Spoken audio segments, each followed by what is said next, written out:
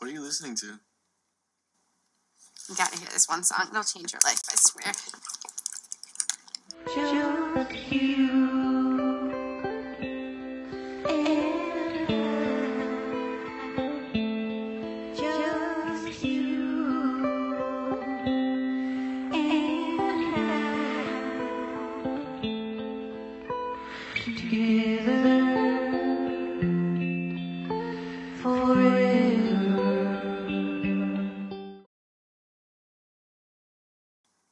No.